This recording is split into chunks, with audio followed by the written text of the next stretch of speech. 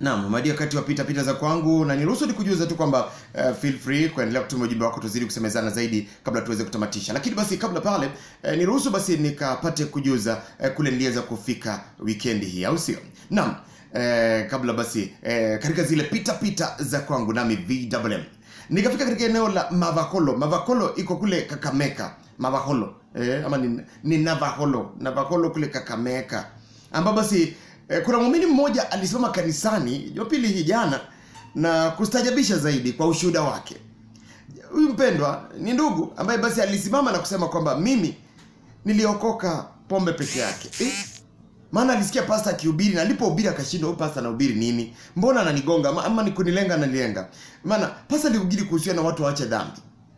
Na alipohubiri akamwambia pasta, ulipokuja tukapatana ukani, ukaniambia niacha, uniambia tu niachane na pombe.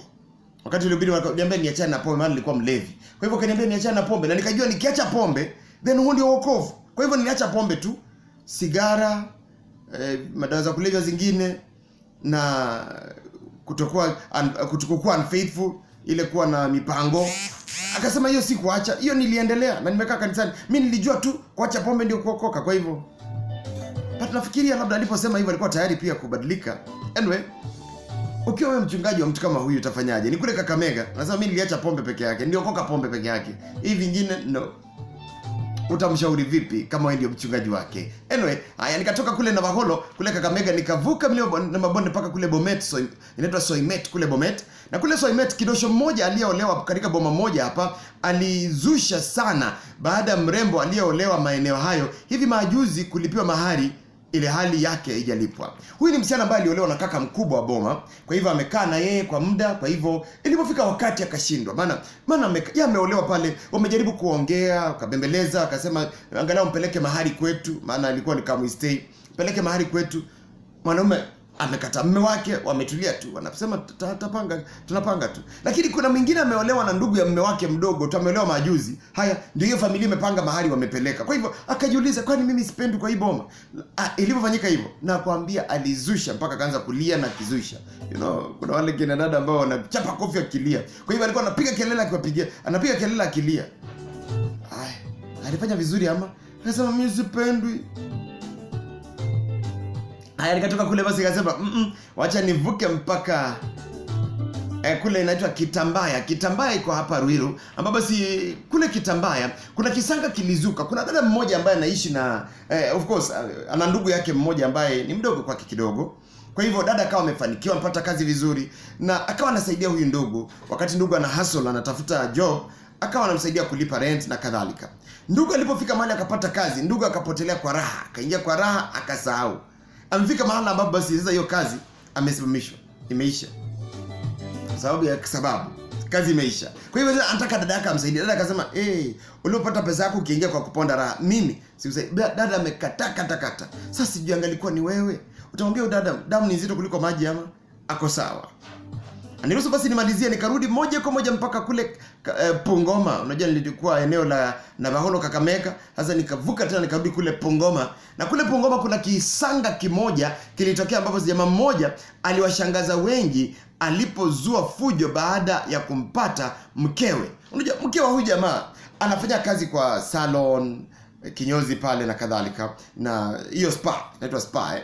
kwa hiyo basi alipompata pale jamaa akatoka toka mtembelea kigafla sijui kwa nini sijui alikuwa anashuku kitu ama sijui lakini akatembelea tu mke wake. Kwenda pale kwenye kazi ya mke wake ambaye anafanya kwenye hoteli eh, kwenye I mean kinyozi whatever, hiyo spa.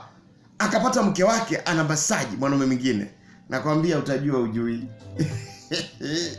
yaliyotokea huyu- ako kazi. Ana kazi yake ni kumasaji sasa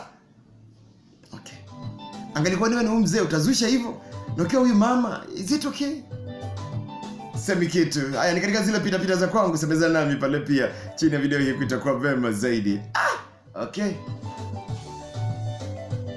Ni wivu tu ama ana point? Ah, bila shaka pitapita pita za kwangu nami vitablem na make sure umesubscribe pale. Chini ya video hii kuna neno subscribe. Click tu kwenye neno subscribe ukiambia sign in sign in na gmail account yako then click notification bell alafu copy the link and share na mungu akutende wema. Kwa popote pale ulipo make sure umesubscribe click notification bell uh, ukiambia sign in sign in na gmail account yako then hapa chini weka comment yako then moja kwa moja copy the link and share then nipe thumbs up. God bless you nawapenda zaidi napozidi kwa pamoja bila shaka basi tutazidi pale tukielekea kumalizia mpendo msikilizaji ikiwa ni ndani ya biblia sema broadcasting nashukuru kwa jumbe zote ikiwa ni katika kule ku wind up uh, asubuhi ya leo nashukuru sana. Mungu azidi kutenda wema. Ikiwa zisalia dakika mbili nashukuru kwa wote ambao wameweza kutuma jumbe zao kwenye mtandao wa facebook uh, kwenye mtandao wa twitter na kadhalika uh, nam uh, bila shaka basi tunashukuru mungu kwa wema wake maana ni mungu mkuu mweza wa yote. Uh, kuna kina rosela uma wote kwenye mtandao wa facebook ambao wameweza kunijibu pale nashukuru sana eh, kwenye kindakindaki nikakuwa na kikosi kizima hapa. Eh, pia wale ambao wameweza kusemezana nami nashukuru sana kwa jumbe zenu nyote. Eh, vilevile kwenye sms nashukuru sana. Namwona pale mmoja eh, asema kwenye pita pita makubwa hayo god have mercy. Huyo ni helen. Vilevile vile pia kunaye hapa asema wangu mc kikubwa kwangu ni kupoteza ke, eh, kupongeza kipindi eh, na, napen, eh, napenda eh, kazi yako na wanakindakindaki kwa ujumla. Uh, vile vile pia uyasema thanks kwa maombi himizo na kadhalika. Karibu sana helen. Vile vile viji mambo true mtu akimaliza kunywa pombe anarusha hiyo chupa na eh, akimaliza kunywa pombe anarusha hiyo chupa na inapasuka. Je huo ni ungwana? Haya ya kwake anarusha kwa barabara. Victor kwenye viji eh, karatasi ya chipsi afadhali mimi niliona eh, moja iki, akiweka chini ya kiti shwali unaweka chini ya kiti kwa gari. Tabia gani hiyo? Kwa kumalizia ujumbe wa mwisho huyu asema eh, viji ni ukweli kabisa heshima ilienda wapi kwa bin Adam? mungu akutende wema mpendo msikilizaji sina uh, la ziada muda unruhusu kuendelea zaidi eh, takuwa napatana tena hapo kesho pana majaliwa yake mwenyezi mungu. Na kumbuka basi timu hapo saa nne kamili utakuwa na mwenzangu benson mwanza ambaye naona pia kichungulia chungulia kule alafu baada pale casvin oresi atakuwa naingia mida ya saa kumi jioni au ukipenda saa kumi alasiri Ni hapa ni vwm ukipenda victor mando mandala kipindi kutoka calvary chapo ni baada ya muda usiokuwa mrefu lakini kwanza kabisa tumebarikiwa au sio mungu akutende wema Aya, samahani. Bila shaka basi nashukuru sana kwa, kwa nawe. Make sure click notification bell na Mungu akutende wema. Ndipo tumemalizia pale eh, kwenye sehemu hiyo. Mungu azidi kuwa nawe kwa kila jambo. Victor Mandala chini hapa weka comment yako. Nijuze pia kwenye viji mambo mambo yalikuwaje na kadhalika maoni yako. Alafu weka comment yako hapo. Click notification bell copy the link. Ukiambia sign in sign in na gmail account yako na mungu azidi kutenda wema. Mi hapa ni vwm ukipenda victor madumandala na katika comment unijuza tu lipi limekubamba zaidi katika hayo. Je ni yule dada ambaye alikataa kulipia ndugu yake? Je ni huyu mzee ambaye alienda kwenye eh, spa ama kwenye salon akapata mkewe na anafanya kazi yake ya kumasaji na akazusha akamharibia kazi na kadhalika. Kwa hivyo semezana nami pale weka comment yako pale. Mungu akutende wema tuadiane tena pale majaliwa mwenyezi mungu shalom subscribe eh?